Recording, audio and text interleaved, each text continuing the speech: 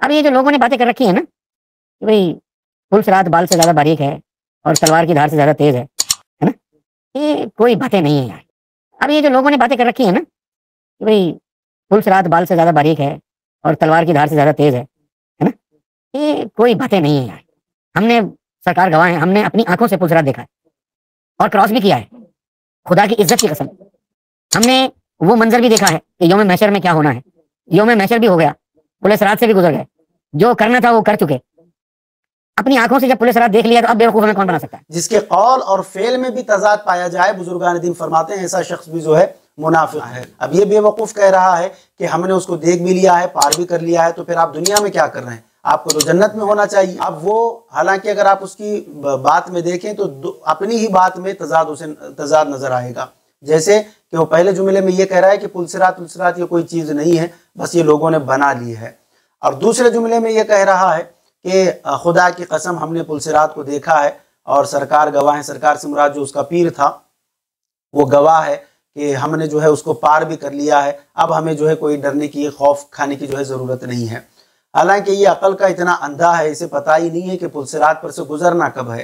पुलसरात पर उस वक्त गुजरा जाएगा जब ये सारी दुनिया ख़त्म हो जाएगी और जब मैदान मैशर लगाया जाएगा और मैदान मैशर जब लगेगा तो जन्नत में जो जाने का रास्ता है जो जन्नत में जाने का जो रास्ता है, वो जहन्नम की पुष्ट पर पुल सिरात बनाया गया है। जहन्नम की पीठ के ऊपर है वो पुल सिरात अब ये बेवकूफ़ कह रहा है कि हमने उसको देख भी लिया है, पार भी कर लिया है तो फिर आप दुनिया में क्या कर रहे हैं? आपको तो जन्नत में होना चाहिए। मुसलमानों, ऐसे दज्जाल और कजाब लोगों से बचते रहो। इसलिए कि ये ना खुद जो है राह रास्त पर हैं, ना ये दूसरों को राह रास्त पर लाने वाले हैं। और मैं खसूस हमारे अहले मशरफ सलासिल वाले लोगों से ये गुजारिश करूँगा कि इसकी तरीक़त और मारिफत की बातों में ना आए, ना ये शरीयत का है, ना ये तरीक़त का है, ना ये दीन का है, ना ये दुनिया का है। ये कहीं का भी नहीं है, बस ये एक एजेंडे पर काम कर रहा है और लोगों को जो है गुमराह कर रहा है। अब पुलसरात का इसने जो मज़ाक उड़ाया पहले जुमले में, उसको आप समाप्त कर लें कि पुलसरात क्या है। क्या पुलसरात के ऊपर कोई अहादीस तयबा मौजूद हैं या नहीं है? इतने कसर अहादीस हैं, मैं वक्त के अख्तिसार के साथ जो है आपको बिल्कुल सिर्फ़ दो तीन अहादीस आपके सामने रखूँगा इतने कसर अहादीस हैं पुलसरात के हक होने पर कि जिसका इनकार जो है नामुमकिन है। सबसे पहले मुसनद अहमद की यह हदीस मुबारक है। हदीस का नंबर है चौबीस हज़ार आठ सौ सैतालीस। ये हदीस का नंबर है। नबी करीम रऊफ़ुररहीम सल्लल्लाहु अलैहि वसल्लम इरशाद फरमाते हैं कि जहन्नम पर एक पुल है जो बाल से ज़्यादा बारीक और तलवार से ज़्यादा तेज है। अब इसने तमस्कुर किया, मज़ाक उड़ाया। कहते हैं कि बाल से ज़्यादा बारीक है, तलवार से ज़्यादा तेज है। चलिए ठीक है, यहाँ तक तो एक बात थी कि उसने मज़ाक उड़ाया उसका और उसको नहीं माना। लेकिन दूसरे जुमले में, यानी तजाद देखिए, उसका दूसरे जुमले में कहता है कि खुदा की कसम हमने देख भी लिया है और पार भी कर लिया है। तो ये इसी को कहते हैं मुनाफिकत, कि कभी कुछ बोले तो कभी कुछ बोले। एक कौल एक हो और फेल एक हो, जिसके कौल और फेल में भी तजाद पाया जाए, बुजुर्गान दिन फरमाते हैं, ऐसा शख्स भी जो है मुनाफिक है। तो ये कोई सुनी सुनाई बात नहीं है, ना कि ये किसी ने ये बात कही है, बल्कि ये बात उसकी ज़बान से निकली हुई है कि जिसके लिए मेरा रब फरमाता है, वमा यंतिल हवा, इन हुआ इल्ला यूहा। और अय लोगों, हमारा महबूब जो कहता है, वो अपने मन से नहीं कहता, बल्कि जो हम उससे कहलवाते हैं, वही हमारा महबूब कहता है।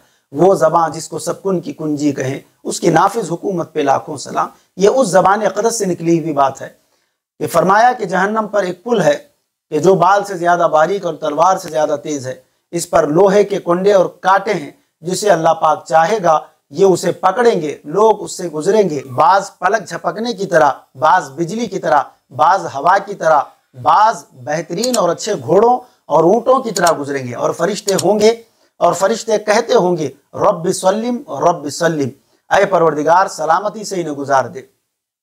और बाज मुसलमान नजात पाएँगे, बाज जख्मी होंगे, बाज औंधे होंगे और बाज मुँह के बल जहन्नम में गिर पड़ेंगे। उसके अलावा मुहदसिन और फ़ुका कराम फरमाते हैं कि पुलसिरात हक है, इस पर ईमान लाना वाजिब है और इसका इनकार करने वाला ये गुमराह शख्स है। पुल से गुजरे बगैर कोई भी जो है जन्नत में जा नहीं सकता, क्योंकि जन्नत में जाने का यही रास्ता है।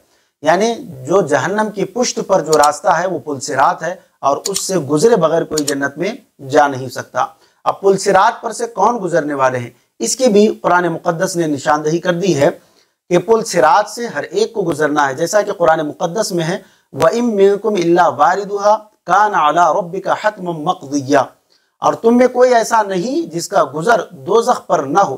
तुम्हारे रब के जिम्मे ये ज़रूर ठहरी हुई बात है।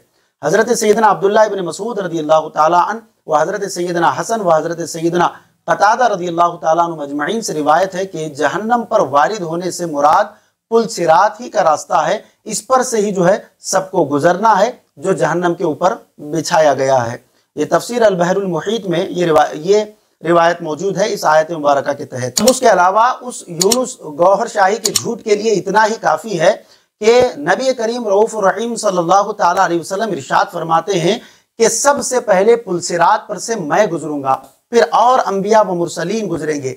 फिर ये उम्मत, यानी मेरी उम्मत, फिर और उम्मतें गुजरेंगी। तो मालूम हुआ कि पुलसिरात पर सबसे पहले गुजरने वाले हमारे नबी करीम रऊफ़ रहीम सल्लल्लाहु अलैहि वसल्लम की ज़ात अकदस है कि आप सबसे पहले गुजरेंगे, आपके बाद दीगर और अम्बिया कराम मुरसलीन गुजरेंगे, उसके बाद फिर दीगर जो है और उम्मतें गुजरेंगी। तो मालूम हुआ कि पुलसिरात ये कल हश्र के मैदान में इस पर से सबको गुजरना है और ये आज का मामला नहीं है ये कल आखिरत का मामला है। इसके ऊपर से सबसे पहले गुजरने वाले हमारे नबी मोहतरम सल्लल्लाहु अलैहि वसल्लम है। तो इसलिए ऐसे गुमराह और गुमराह गर लोगों की बातों में ना आए और अपने ईमान और अकीदे को इनके पीछे बर्बाद ना करें। हज़रत अलामा व मौलाना हाफिज सैयद साजिद पाशा कादरी के इल्मी व रूहानी बयानात के लिए इस ऑफिशियल चैनल को सब्सक्राइब करें और बेल आइकन ज़रूर प्रेस करें। जजाकल्ला